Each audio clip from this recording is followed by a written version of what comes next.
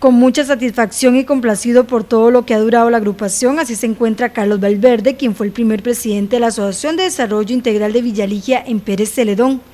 El dirigente fue uno de los homenajeados durante la celebración de los 30 años de la organización. Valverde dijo que al inicio lucharon mucho para crear la asociación, pues había varios proyectos que se tenían que concretar. Todo se origina porque siempre existían problemas en la comunidad de caminos principalmente, problemas de de los buses y también había una necesidad de una escuela en, aquí en la finca municipal que ahora se llama La Aurora, ¿verdad? En ese tiempo todo se llamaba como finca municipal.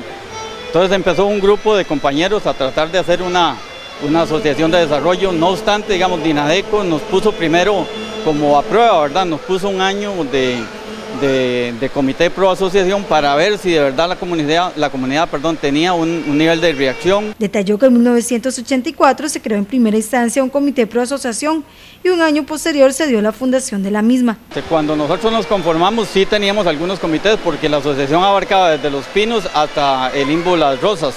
Entonces en Los Pinos había un comité, había otro en la finca municipal y había uno en el Limbo eh, Las Rosas y así empezamos, ¿verdad? Con una junta directiva y comités de apoyo que siempre han existido. Valverde solo estuvo un periodo en la agrupación, pues por motivos de trabajo tuvo que desplazarse fuera del cantón generaleño. Ahora regresó y afirma que le tiene mucho cariño a la comunidad. Ahora ya tengo nueve años de que regresé al pueblo, no obstante ya no vivo aquí en Villaligia, vivo en Lourdes, pero siempre mi mente me traiciona y cuando me preguntan dónde vive usted, yo digo que en Villaligia, ¿verdad? Porque siempre guardo un, un cariño especial por esta comunidad. El primer presidente de la asociación dijo sentirse muy complacido por todo lo que la organización ha alcanzado.